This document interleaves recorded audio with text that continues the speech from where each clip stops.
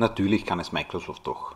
Im letzten Video haben wir einen Iterator gebaut im C-Sharp-Style, der HTML-Strings durchsucht und Attribute ausliest. Dann wird festgestellt, dass der Zugriff auf Index-Off bei Strings sehr langsam sein kann. Allerdings war der Iterator auch case-sensitiv und wohl auch so keine so gute Idee. Wenn man sich Index-Off genauer anschaut, dann sieht man auch entsprechenden Overload, der beschreibt, dass er case-insensitiv ist und auch anders vergleicht, nämlich ordinal vergleicht.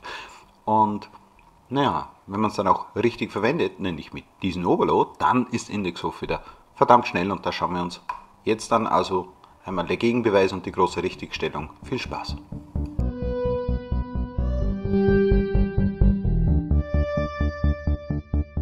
Trommelwirbel, das hier sind die Ergebnisse.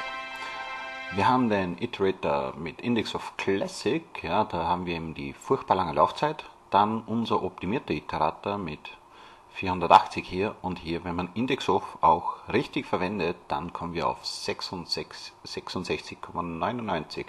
Der RAM ist überall annähernd gleich oder im Endeffekt gleich und auch hier überall, aber was man durchaus sieht, die Laufzeit ist Wahnsinn. Ja.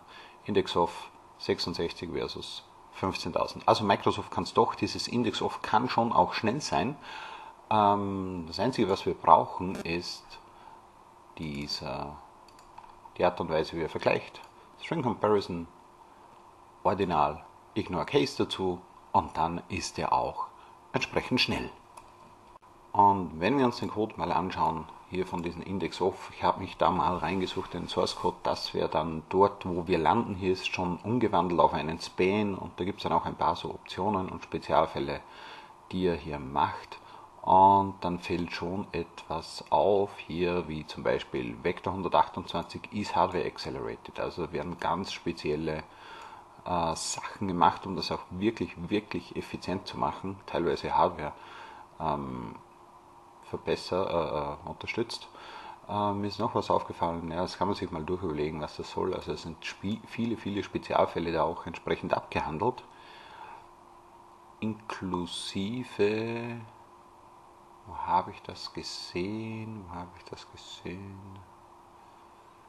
Da haben wir nochmal so einen Index auf. Ah, hier. Auch ein Spezialfall. Ja. Based on da, dann gibt es einen speziellen ähm, Algorithmus dort. Sim String Find. Ja, das wäre diese hier. Den kann man sich hier mal anschauen, wie denn der genau tut und genau funktioniert der ist da implementiert da drinnen. Und was auch ganz lustig ist, sie haben hier sogar ein GoTo. Ja. Normal sage ich immer, wer GoTo verwendet, kostet eine Kiste Bier. Gut, hier. GoTo Search to Characters. Danke Microsoft. Wir haben jetzt auch gelernt, dass auch ihr GoTo hin und wieder doch mal verwendet. Ja, hier wieder entsprechend Hardware Accelerated etc. pp. Gut, also das schauen wir uns jetzt nicht im Detail an. Wir sind happy, dass es Microsoft doch natürlich kann, einen hocheffizienten Algorithmus zu schreiben, der ähm, hier entsprechend das macht, was er machen soll. Ja. Ignore Case etc. und Co. Gut, ich pop das jetzt wirklich in ein NuGet-Package und lade das hoch, dann habt ihr den Enumerator, diese String-Extension, die ignorieren wir, die schmeiße ich wieder weg. Und diesen Iterator, wer es benötigt, äh, um HTML-Code zu analysieren. Viel Spaß damit!